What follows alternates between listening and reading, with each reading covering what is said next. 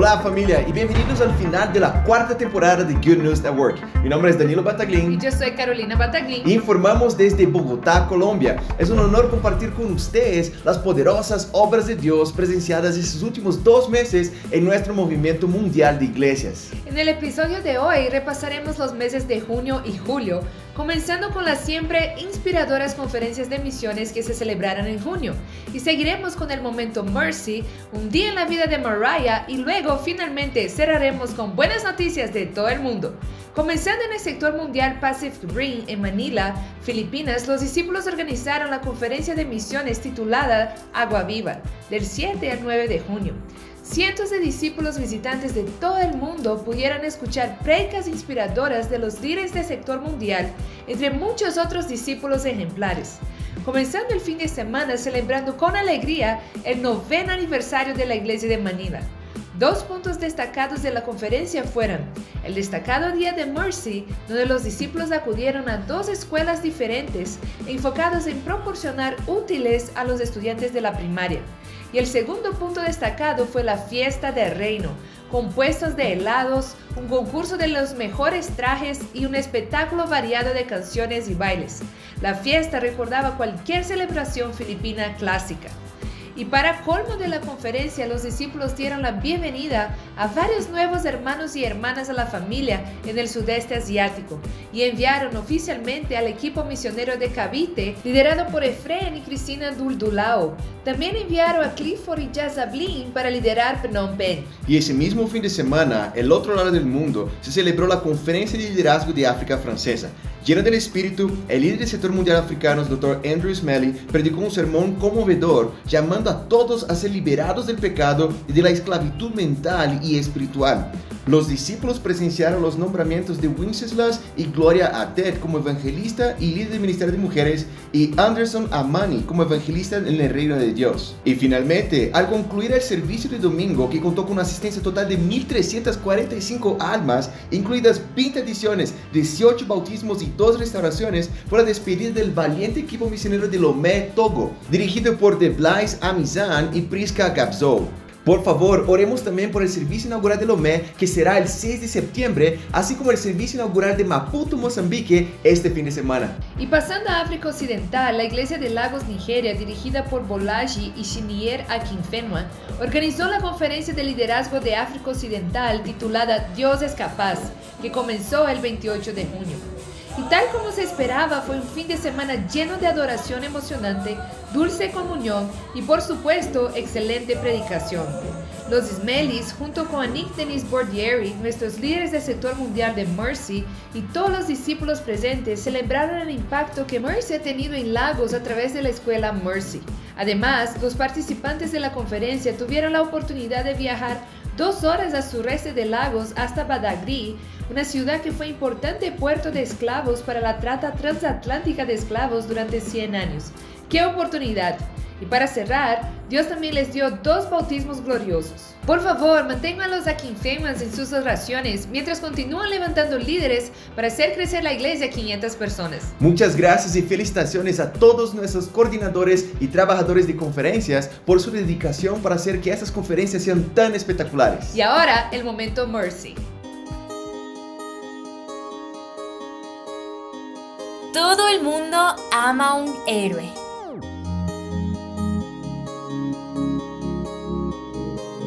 Creo que hay un héroe en todos nosotros. Eso nos mantiene honestos, nos da fuerza, nos hace nobles.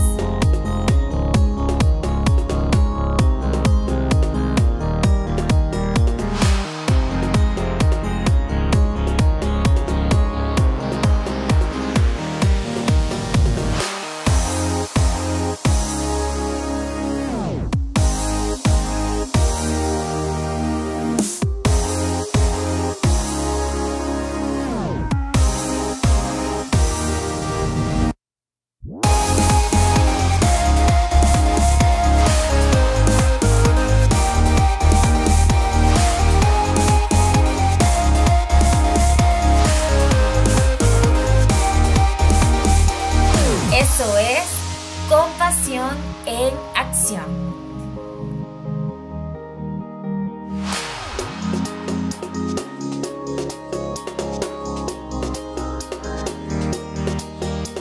Muchas gracias a nuestro equipo global de directores y embajadores de Mercy por todo su arduo trabajo para organizar nuestro Día Anual de Mercy. Todos ustedes han reflejado verdaderamente el amor de Jesús a través de sus innumerables actos de compasión en acción. Y ahora tenemos la palabra a Mariah de la iglesia de Maui para un día en la vida de un discípulo. Aloha, my name is Mariah Lastra. I was baptized on April 16th of 2017 in Southland region of the LA Church. Um, I am now a women's ministry leader, a part of the Maui International Christian Church alongside my husband, Chris Lastra. Moving to Maui was a big learning curve because it's very country, very slow, and it's calming. It's great, but I think the transition was challenging because Chris and I were so used to like a fast paced campus ministry. So coming to Maui, we got to learn, wow, it's more about marrieds and singles and and that's not wrong. There's nothing wrong with that. It was just transforming our evangelism to be more diverse and how to be more creative, whether it's through social media, whether it's through Bumble BFF, which actually was very fruitful because we were able to have a miracle of seeing the, the marriage ministry grow through Faith and Brennan, uh, Bishop Perky getting baptized. And that was a catalyst to more marrieds coming into the kingdom of God. One of my greatest challenges as a disciple was people pleasing. I also grew up as an athlete, so I think performance, performance, performance. I also did dance and, and hula. So a lot of my life was was so used to doing a good job or you know getting approval from so and so and and I was so grateful for a women's ministry leader in my life that sat me down and it was actually more than one, but they sat me down and just helped me really make sure that whatever I do is pleasing to God and and really petitioning God, praying for discernment, getting my convictions off of the Bible and not off of people's opinions. I saw God work through this challenge first by how I met my husband, praying for God to send me my perfect spouse someday. And I just petitioned God and prayed for different traits in a in a godly husband that will help get me to heaven. And it was just very evident in so many ways that Chris was the one for me. And here we are now in Maui. And a cool little tangent is Prince George shared his faith with me and I studied the Bible with Joy George who grew up in Maui. And then it's cool to see how full circle it is that we, Chris and I, eventually got trained to plant Maui, and look where we are now because of God. One of the most impacting times in my life and within my discipleship, I would say, is being just thoroughly discipled and led and mentored by Mike and Brittany Underhill. And we just were pri- privileged to get a lot of time with them in Honolulu, uh, two years in Oahu, getting just very hands on discipling. And it was really helpful for our marriage, for our adult life, just learning how to watch our life and doctrine closely. So it was just really helpful to be led by them, grateful for their friendship in our life and just for their help in our marriage and in our walk as we learn how to lead a church here in Maui. A message of hope that I would love to give is Galatians 2:20. Just I love the scripture because it talks about not relying on self or what you have to deliver, but it says, "For I do not live, for Christ lives in me." God will ultimately help someone grow if they're called. Muchas gracias Mariah por compartir un día de tu vida con nosotros. Y ahora, buenas noticias de todo el mundo. Sigamos con más buenas noticias de Mercy y esta vez desde Apia, Samoa. El año pasado, los discípulos de Samoa tuvieron el honor de dirigir el centro comunitario de Mercy y han ocurrido muchos proyectos diferentes dentro de ese centro que han tenido un gran impacto en la comunidad en muchos niveles. A partir de abril de este año, iniciaron un programa escolar gratuito que se centró en personas de 16 a 25 años que no habían completado la secundaria. Su directora y maestra de Mercy, Tana y Tano, buscaron las aldeas para encontrar futuros estudiantes y ofrecer ese programa, que prometía clases de inglés, matemáticas, informáticas, desarrollo del carácter y habilidades para la vida. Y las siete mujeres que encontraron y que participaron en este increíble programa habían abandonado la escuela anteriormente debido a problemas familiares y financieros, y todas, excepto una, nunca habían trabajado antes. Sin embargo, el 4 de julio, 35 personas se reunieron para presenciar la graduación de la primera promoción de la escuela Mercy en Apia. Después de esto, las siete mujeres pudieron conseguir su primer trabajo a través del programa. Fue una experiencia que les cambió la vida a todos. Felicitaciones a los estudiantes y embajadores de Mercy en Apia. Y también en nuestro sector mundial Australia-China, la iglesia de Auckland, Nueva Zelanda, celebró la conferencia de mujeres titulada Sin Temor, que fue un día glorioso en el que las 20 hermanas de la iglesia contaron con la asistencia de más de 90 mujeres. Muchos corazones se movieron al querer conocer a Dios y el poder de su amor que expulsa nuestros temores. De manera similar, la iglesia de Brisbane recientemente celebró la conferencia de mujeres y con seis mujeres en la iglesia asistieron la asombrosa cantidad de 54 almas ansiosas por construir amistades y aprender acerca de Dios. Y tenemos una historia extremadamente edificante de la iglesia de Houston del sector mundial Tribe. Nuestra hermana de la iglesia de Houston, Majestic, compartió su fe con una mujer llamada Miria en 2022. Sin embargo, a pesar de los múltiples encuentros ordenados por Dios, Miria no estaba lista para buscar a Dios con todo su corazón. Dos años después, después de estar cansada del mundo, Miria supo que necesitaba ayuda y recordó esos encuentros aleatorios con Majestic, pero cuando intentó enviarle un mensaje de texto, el mensaje no llegó, ya que Majestic cambió su número y se mudó al Ministerio de Solteros. Desesperada por buscar a Dios, Miria oró para ver a la hermana nuevamente. Milagrosamente, dos días después, el Señor respondió a su oración cuando ella encontró a las hermanas haciendo el entre semanal de mujeres en el mismo edificio donde ella había ido para un evento de su trabajo. Poco después estudió la Biblia y se convirtió en una verdadera discípula de Jesús el 5 de mayo de 2024. Pero los milagros no terminan ahí. Inspirada por la completa transformación de Miriam, su hermana gemela Morgan también estudió la Biblia y solo seis semanas después, después de luchar con las escrituras, Morgan también decidió hacer de Jesús el Señor de su vida. Bienvenidos a la familia y Morgan. Buenas noticias desde Mendoza, Argentina. Argentina es un país muy ateo y debido a esto, normalmente pocos están dispuestos a estudiar la Biblia. Y si bien la tentación podría ser retroceder, la fe radical de los discípulos de Mendoza y sus líderes, los anuches, lo han motivado a compartir continuamente la fe con cientos de personas todos los días. Como resultado de su perseverancia, la iglesia ha crecido este año un 100%. ¡Qué milagro! Y todo eso solo es posible por Dios. Y justo por encima de Argentina, en Brasil, la iglesia de São Paulo sigue avanzando con fuerza.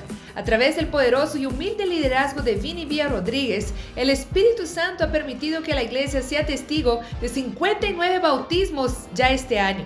De manera similar, en el sector mundial europeo, los ejemplares discípulos de Londres están trabajando duro para el Señor y están solo unas pocas almas de alcanzar las 100 incorporaciones desde principios de 2024. Además, Europa se acerca rápidamente a los 700 discípulos y habrá 15 iglesias en 13 naciones para fin de año. Con las plantaciones de Lisboa, Barcelona y Curazao, una lámpara encendida que brillará en una región del mundo dominada por el catolicismo y el ateísmo. Por favor, oren por ellos mientras avanzan para alcanzar nuevas alturas para la gloria de Dios. Hombres y mujeres prominentes continúan sintiéndose atraídos por Dios y su reino en todo el mundo. En la iglesia de Boston, dirigida por Jordan y Alicia Swan, los discípulos se regocijan porque Dios ha multiplicado su ministerio universitario de 14 a 33 estudiantes este año. Y su ministerio ha tenido una alegría de incluso bautizar a 6 atletas, incluidos 3 jugadores de fútbol de la Universidad de Boston. Y un breve resumen de nuestro querido hermano, el doctor James Prince, un discípulo en Seattle. James acaba de recibir el premio del Doctor del Año de todo el estado de Washington. Con mucha pasión y visión por el campo médico, James fundó a una empresa de anestesia y contrató a cuatro médicos de primer nivel bajo su mando. Pronto aparecerá en la muy estimada revista Seattle. Y qué inspiración saber que James sobresale profesional y espiritualmente, como recientemente bautizó a su amigo, el doctor Bartolo España Austin, cirujano oral.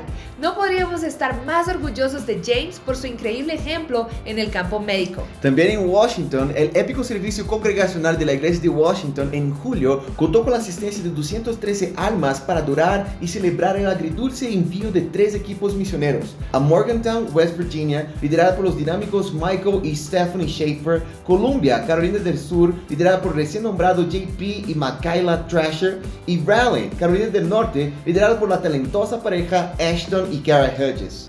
Además de eso, en el sector mundial Sages, el 23 de junio en Miami, todos los líderes del sector geográfico de Sages, incluidos Rick y Colleen Challinor, quienes viajaron desde Chennai, India, se reunieron en un glorioso servicio donde enviaron equipos misioneros a Fayetteville, Arkansas, dirigido por Robert y Naomi Roger, Starkville, Mississippi, dirigido por Austin Julie Devine, y Tuscaloosa, Alabama, dirigido por Alex y Melanie Nunguyo. Es un momento tan emocionante en la historia a medida que nos acercamos cada vez más a la conclusión de la Operación Águila, la iniciativa para tener una iglesia en los 50 estados de Estados Unidos. Únase a nosotros en oración por estos equipos misioneros, para que Dios haga llover bendición tras bendición sobre estos discípulos a medida que se acercan sus servicios inaugurales. Y hablando de misiones, nos complace anunciar que después de meses de recaudación de fondos y sacrificios, la iglesia ha recaudado 5 millones de dólares en contribuciones y misiones especiales en todo el mundo. ¡Wow! Queremos agradecer a todos y cada uno de ustedes por su extrema generosidad y sacrificio hacia la ambición de evangelizar las naciones en esta generación. Sabemos que esto resultará que muchos más territorios inexplorados recibirán las buenas nuevas y muchos más alabarán a Dios. Y qué alegría ha sido compartir esta temporada de GNN y poder ver las buenas nuevas de Dios que continúan llegando de todo el mundo. Y estamos ansiosos por verlos en la quinta temporada de GNN, informarles sobre cómo Dios está usando las recientes contribuciones para resultar en la salvación de muchas más almas. Si disfrutaste del episodio de hoy, compártalo con amigos y familiares para que puedan contemplar los milagros modernos de Dios. Somos Danilo y Caro Bataglín informándoles desde Goodness Network Las mejores noticias que verás.